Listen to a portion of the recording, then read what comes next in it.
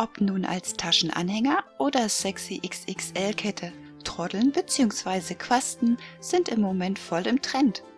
Ich möchte dir heute zeigen, wie du wirklich in 0, nichts einen tollen Kettenanhänger selber machen kannst. Also bleibe dran. Ich benutze ein ca. 6 x 8 cm großes Stück Kunstleder. Außerdem brauchst du eine Endkappe mit Öse. Diese hier hat einen Innendurchmesser von 6 mm.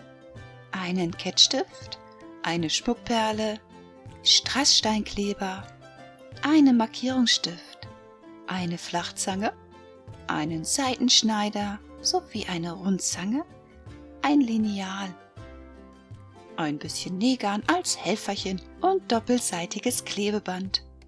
Zuerst zeichnest du dir im Abstand von 5 mm von der Oberkante aus eine Linie und danach in gleichmäßigem Abstand über die gesamte Breite weitere Linien, an denen du später bis zur oberen Markierung einschneidest.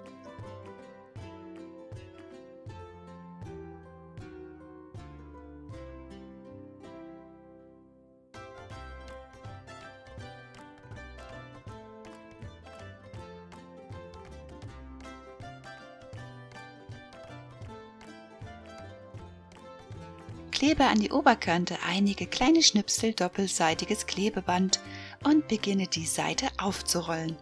Ziehe den aufzurollenden Stoff schön straff und rolle ihn richtig fest ein.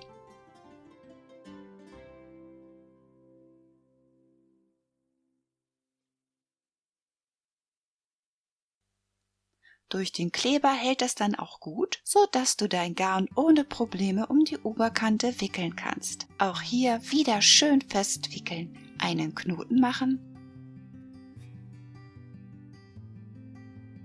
ein wenig zurechtschneiden und schon einmal Klebstoff aufgeben. Danach in die Hülse Klebstoff tropfen und die Troddel in die Hülse stecken. Du kannst mit einer Schere ein bisschen nachstopfen, falls es nötig sein sollte. Das Ganze lässt du jetzt mindestens eine Stunde trocknen. Ich benutze für das obere Anhängerelement eine flache bemalte Perlmutscheibe. Sie hat einen Durchmesser von ca. 2 cm. Du kannst natürlich jede Perle nehmen, die du zu Hause hast und die dir gefällt. Durch die Perle fädel ich den Kettstift und schneide den überstehenden Draht nach ca. 1,5 cm ab. Dieses Mal lasse ich mehr Überstand an Draht, weil ich eine größere Öse brauche. Fasse den Stift mit der Flachzange und biege ihn im rechten Winkel zur Seite weg. Danach greifst du mit der Rundzange die Spitze des Drahtes und biegst ihn um die Zange herum. Da die Zange schmal nach oben zuläuft, kannst du dir die Stärke deiner Öse aussuchen, indem du die Zange genau dort ansetzt. Nun biegst du die kleine Öse seitlich auf und hängst deine Troddel ein. Tja, und jetzt brauchst du nur noch eine Kette, ein Seidenband oder Lederband und fädelst es durch die Öse. Fertig ist dein Trennstück. Und statt der Perle kannst du einen Karabiner mit einem Schlüsselring an der Troddel befestigen und hast damit einen sehr schicken Taschenanhänger.